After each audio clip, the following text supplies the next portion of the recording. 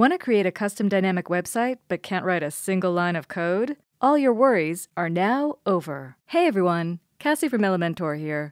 In this tutorial, you'll learn how to add dynamic content with Elementor Page Builder and advanced custom fields without using a single line of code. To get started, just be sure you already downloaded the ACF plugin, version 5 and up. Then you're good to go.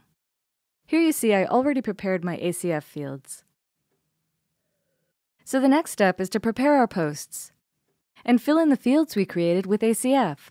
I already created my posts, so let's dive in and see how to integrate them with Elementor.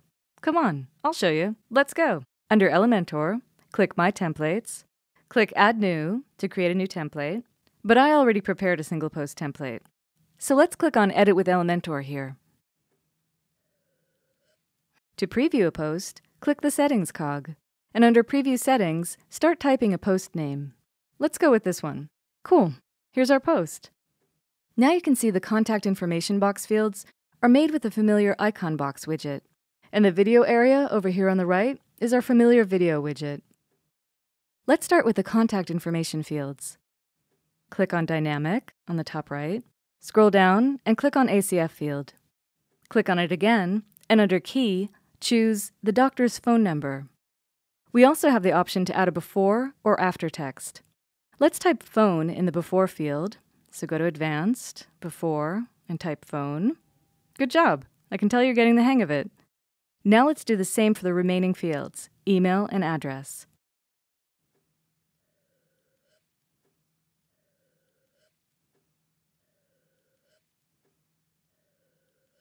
Moving on to the video, let's click on the dynamic icon under the URL and choose the URL field. Now click on the field again, and under Key, choose the video URL. For the image overlay, let's open the Options and click on the dynamic icon. Choose the image field, and click Key again, and choose your field. That's it. All our fields are now dynamic. That means if I display a different post here, let's say this one, it has the same design, only with different information. So that's how you build dynamic pages combining Elementor with ACF. Don't forget, subscribe to our YouTube channel. Thanks for watching.